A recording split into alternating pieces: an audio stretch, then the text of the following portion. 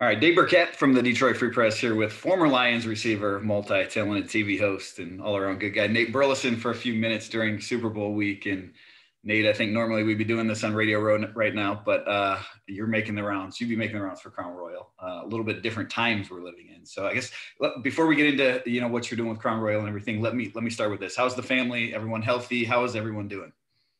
We're good, man. The family's good out here in New Jersey, living this East Coast lifestyle. Um, we got some heavy snow right outside, but that's as expected out here. Um, life is good, man. Um, how are you doing? How's the family? Everybody good? Everybody's good. You know, Detroit just misses you, Nate. I mean, we see you on TV all the time, but uh, I know, I, not like having you in the locker room. I was actually supposed to uh, be back with Crown Royal during the season, but um, I couldn't get out there because of COVID restrictions, of course. But Dave, while I have you, you know, I, I, like to tell you this when I do see you, but since we have the world watching, or as I'd like to think, um, I want to say I appreciate you. You know, I love you. At this point, we like brothers. We've known each other so long, and um, even dating back to my days in the locker room. Even if I was hitting you with cliches and didn't know my potential, you would tell me, hey man, when you're done, you got a career in this, and you would joke about it. And I know that a lot of truth is said in jest, so I always appreciate your encouragement over the years. Yeah, no, no. It's I think a lot of people here are proud to you know see how uh, how high the star has risen. So um, I want uh, of Detroit's own. Yeah, right. Um, all right, let, us start with the big news in Detroit. Obviously, you know the the Matthew Stafford trade from the weekend, and we were talking about a little bit before we started filming. Just, I mean, it, it's wild right now. But Lions get Jared Goff, they get three picks. You know, the Rams get Stafford. Stafford and Goff both get fresh starts, I guess. Who who won the trade? Whew. Um, seems like every time around this year, we should just have the Nate B and DB what's going on in Detroit segment. Um, let's just let's just do it. Um, but who won the trade? I don't know. I think because I know Matt Stafford, I would say Matt. Um, just because this might sound a little crazy, but you know, we talk transparently, me and you. And I know Detroit people might feel a certain type of way if I say this, but it's almost like if I saw Calvin Johnson get traded to the Patriots at the end of his career. Um, you see a guy put in every ounce of himself to the the craft.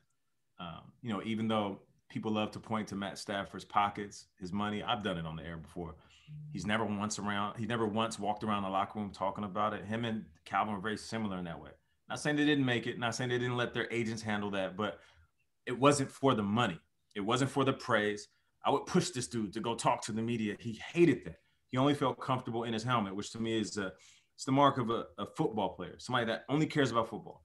We all know the toughness, right? Matt, every injury that you knew about, times it by two. He's probably the toughest quarterback that I've played with and then I, that I've watched over the last decade or so. With all that said, he has an opportunity to almost control the narrative of the rest of his career.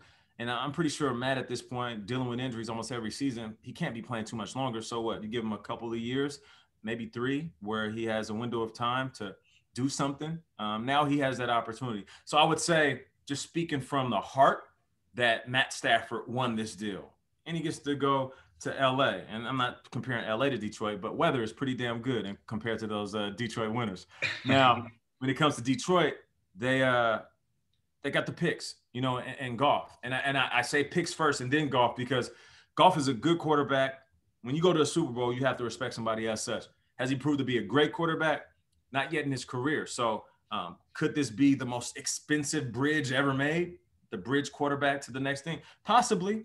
Um, but he also is going to do whatever it takes to prove that um, he shouldn't have shipped me out. Because regardless of how you look at it, him having a hundred million dollar contract, being traded is like being disregarded. It's like somebody picking you up, putting you in a Gladlock bag, and, and taking you to the sidewalk and saying, "Pick this up. We don't need it no more." So hopefully, uh, Goff uses this as motivation. But the picks are like gold, though. Um, so for, for me, any teams that gets a bounty of picks, whether they're mid to late, late first rounds, um, and then you have your own picks, what do you do with those? Now, in the in the words of a football play, if you fumble away those picks, or you pick guys in their bus, or you trade trade away a pick for a free agent that doesn't work out, that's on the front office.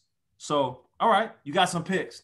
Now, this is where the genius of the front office execs really has to take shape.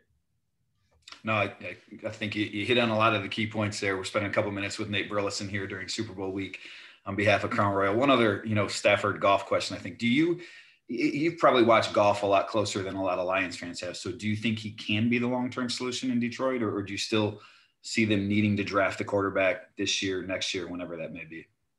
I don't think they need to draft a quarterback this year. I think this is the ultimate year of figuring out what Goff is made of. Um, you know, I, I, I, believe he does have an opportunity to be the long term quarterback.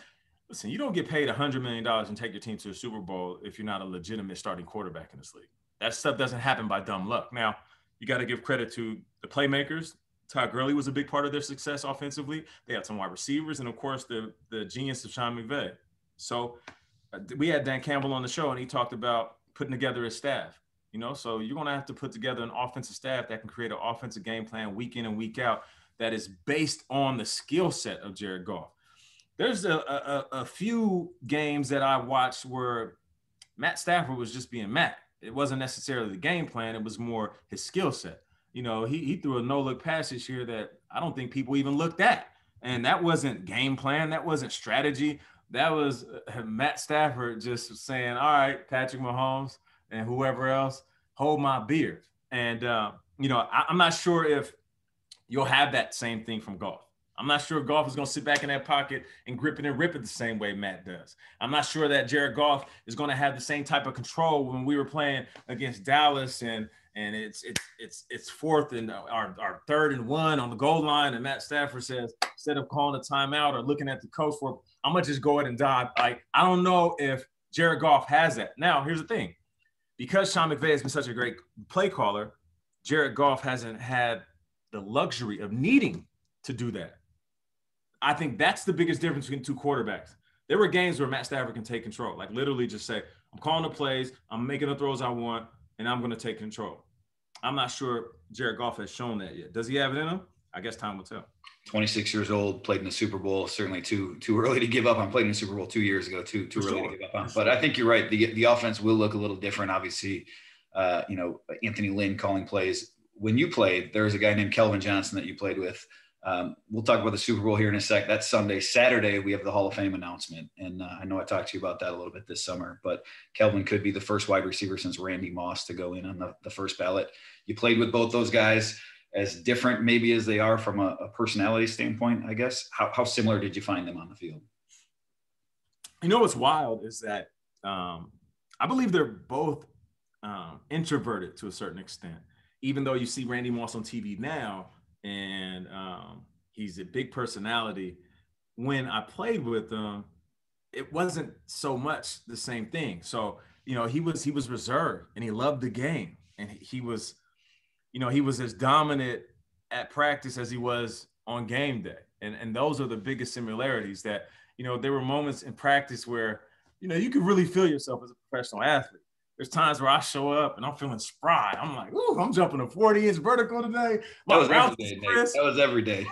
I mean, you know those days, Dave, and me out there talking crazy, scoring touchdowns. I'm dancing in the end zone. I'm pushing, uh, uh, you know, Stephen Tulloch. I'm, I'm starting to fight with Louis Delmas.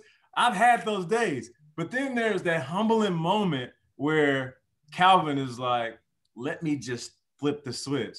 and then you're like, oh, oh, that's what greatness looks like. Oh no, no, I, I get it, I get it. I'm good, but that's greatness. So um, that that that's that's the biggest thing that um, I remember about those two guys is that as as good as I was when I felt like I'm part of the one percent of the world, one of the best athletes to ever play this game. I'm on the team right now, and I'm the best. Those two guys would just they dunk on us. It'd be like a, a grown man playing with kids. But you know, as far as this Hall of Fame not you know, I love the fact that Calvin has come out recently and he started talking. He's like, "Yeah, I deserve to be in." It's like, like where where did this come from, bro? Like, hold on, where, where's Puff Daddy from the commercials? I, I didn't know that you. First of all, I haven't heard your voice in like two years. Who, who are you talking about deserve to be in? So I, I like it, and and you know what? If he gets in, it's well deserved, man. Because there was a moment in time where Calvin was, he's undoubtedly the best. You can't argue that, you know, and that's what they say. Were, were they the best? In their era for an extended amount of time. I think the biggest question is is it an extended amount of time and is it long enough for him to get the nod over some guys that are still waiting or over a TO who didn't go in first ballot? Well, I'll tell you from the uh, being in the room, I, I, I sort of have a good vibe about it. Don't have any idea what's happening yet. We'll find out Saturday, but I do have a good vibe. A couple minutes left here, uh, and I do want to ask you about the Super Bowl. But before I do that, Nate, tell us tell us what you're doing with with Crown Royal. Yeah, so I partner with Crown Royal, and um, you know, just like when I played, you know, they have embodied some of the things that I live by and play by. One of those things is the the water break campaign. You know, as a player, your whole your your whole purpose is to to give the best brand out there on the field. I'm gonna go out there, I'm gonna cook, I'm gonna do my thing, um, but I need those water breaks in between to to finish the job. And it's the same thing when you're enjoying Crown Royal. Um, so they have this great water break campaign, and they have a couple of guys um, that are involved. Obviously, I'm sitting here with this shirt on, but uh, Kevin Garnett, he's in the ad that you guys are going to see. And it's dope because he's going to bring the water break campaign to life. Listen, I, I, played for the Minnesota Vikings when he was with the Minnesota Timberwolves. Always been a fan of the big ticket. So for me to finally be on his team, it, it's quite amazing. Um, but but when you partner with the brand that prides itself at being the best, um, and then you look at all the things they're doing behind the scenes. That's what makes it cool, you know. And and they do a lot of great things in local communities. So um, it's it's I don't know. It, it kind of it's full circle for me. You know, you you you want to you know partner and establish relationships with not only brands you enjoy, but brands that are doing great things um, outside of just making money and having uh, helping people celebrate good times. So. Uh, the big game is coming up, and just look for the big campaign, the water break campaign from Crown Royal you and I will have a maybe a Crown Royal and a water break when we uh, next time we see each other. Whenever this, uh, no doubt about it. We'll, whenever we'll, this COVID, we'll short on the water break and big on the Crown. um, all right, let's end it with this. Uh, well, I'm gonna squeeze two in. We got two minutes left, so maybe you could hit on both of these. Uh, just I wanted to uh, give me your Super Bowl prediction at the end here. Mahomes Brady going to be a great game, but I did want to ask you too. You did the Nickelodeon playoff broadcast a couple uh, weeks ago, which I thought was pretty phenomenal. What was that experience like, and do you have desires to I don't know, get out of the studio and get into the booth one day too. It was fun, man. You know, we're the same age range, so um, it was unique preparing for this game. You know, usually I'm hardcore X's and O's, and I'm, I'm trying to figure out a way to to do my Tony Romo. All right, Jim, look right here. You got the two players over. You know, Tony. Like I, I was, I was, I was ready. I was in my mode to do the whole Nate Stradamus predicting plays. But then I started thinking to myself, there's going to be kids and their parents watching this game. The demographics different. I want to be able to talk to the five year old and the 50 year old. So preparing for it, I literally was in my room, my hotel room in New Orleans, watching old reruns of like Double Dare and and all that, the original and the Kenan and Kel and everything up until like recent Nickelodeon shows.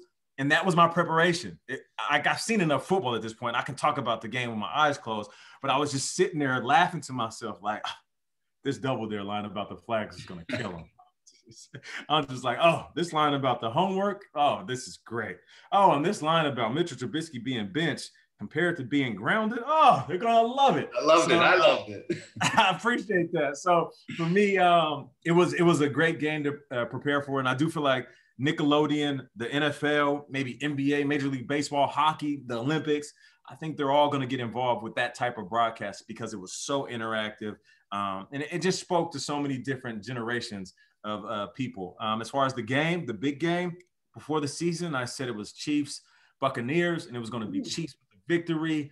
Patrick Mahomes snatching the torch away from Tom Brady, you know, and and I feel like it's going to be a tough one. I feel like it's going to be a tough one, and Patrick Mahomes will be the MVP. And I'm thinking a high scoring affair, you know, 42 35, somewhere around there. So I picked the Chiefs, and I'm steadfast on that. But like the more I'm listening to Tom Brady, I spoke with him yesterday during Super Bowl opening night, and he has this calm about him. It's almost like calm. It's almost like Tom Brady. If Sunday was a movie, it's almost like Tom Brady has seen the movie and he knows the ending. You know what I'm saying? Like you ever meet that friend that couldn't hold water and he just could he couldn't wait to tell you. He's like, no, Bruce Willis is dead the whole time. You're like, bro, I haven't even seen it yet. Like I feel like Tom Brady is just sitting back, like, I won. I, like I, I know what happens on Sunday. Patrick Mahomes, he has a great game. I get it with two minutes left. I take my team down the field. We kick a field goal. I'm the go. And it's I just I can't help but to think that this is going to be the most Super Bowl fairy tale ending in Tom Brady's career. Um, so yeah, I, I picked the Chiefs, but I'm waffling. I'm waffling, bro. We'll leave it there. Brady's the greatest winner in, in football. Mahomes, maybe a chance to catch him. And Nate, one of the best interviews ever. On behalf of Crown Royal, I'm Dave Birkett, Nate Burleson, Freep.com. I appreciate you, Dave, man. Give my best to the family.